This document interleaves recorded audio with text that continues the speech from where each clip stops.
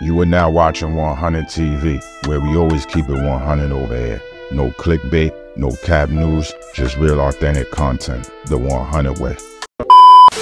Breaking news on well-known Chicago rapper G Herbo. He and five other men charged with using stolen credit cards to charter private jets, rent exotic cars and a villa in Jamaica, and buy designer puppies. The six men were charged in federal court in Massachusetts. It's 100 TV and we back with another one, y'all. And today we got your boy, G Fazo himself. We got G Herbo, y'all.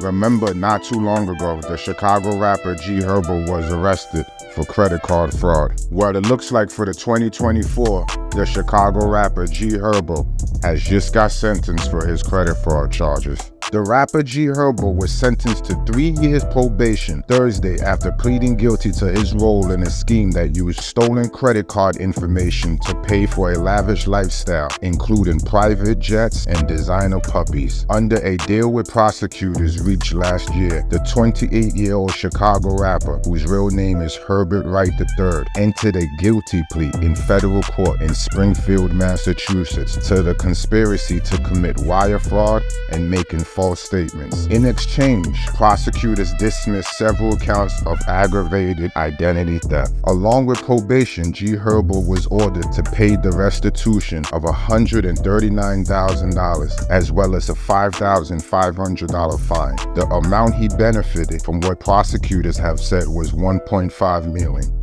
Okay. It's safe to say that your boy Herbo got about that jam, y'all. Yeah, think about it. It looks like G Herbo got a good deal here.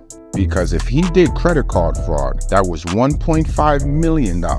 And he only has to pay back 139,000 plus 5000 and he got three years of probation. G Herbo won, y'all. G Herbo's lawyers did an incredible job here. I know a lot of brothers that went up the mountain for some credit card fraud, and I ain't talking about the mountain that NBA YoungBoy's living on. I'm talking about the mountains in that prison system. So yeah, it looks like G Herbo won this case and he got a good deal. I'll take three years probation any day.